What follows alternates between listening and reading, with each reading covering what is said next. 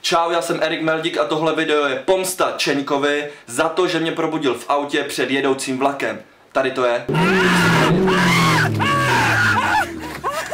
Tohle je Lenka Kučavíková, Čeňková přítelkyně a s ní jsme se domluvili, že nás Čeněk přistihne v posteli, v akci, při dupačce.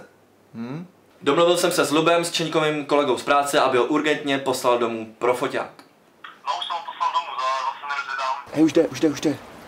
Už jde, už jde. Čeněčku, kamaráde, to ti řeknu, to bude úkol. Počkej.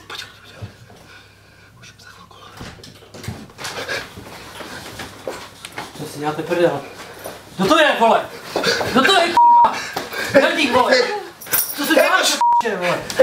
Hej, uh, není tak, to není tak, hej, počkej, ne, to je sranda. Čeňku, to je sranda. Co je to sranda, vole? Čeňku, to je sranda. Hej, Čeňku, Čeňku, to je to sranda, vole? Sranda, vole. Ty vole, to je sranda. To je sranda, ty vole.